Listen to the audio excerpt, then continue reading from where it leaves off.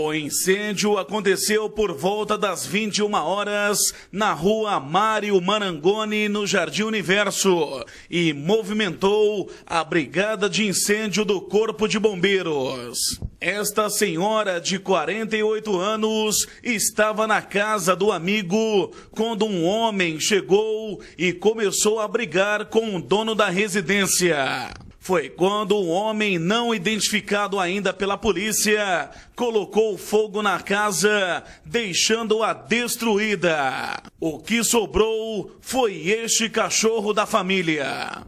Ainda assustada, ela nos conta com mais detalhes como tudo aconteceu. O rapaz chegou com tudo no banheiro, dando soco nele, e armado com garrafa cortada, só o caco.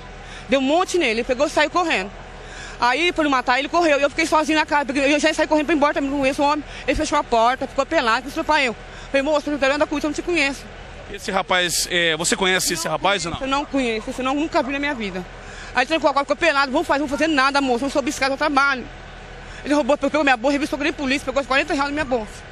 E o que aconteceu na casa? Ele tacou fogo na casa? Ele falou que tacou fogo comigo na casa do lá dentro. A sorte que eu saí correndo. Aí quando eu cheguei, a, a, a casa tá pegando fogo, eu não vi mais nada. Em poucos minutos, os policiais do Corpo de Bombeiros controlaram as chamas.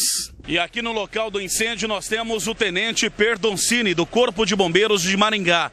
Tenente, chegando aqui no local, foi controlado as chamas? Foi controlado, a casa já estava quase totalmente tomada pelas chamas, conseguimos controlar e salvar o restante da residência.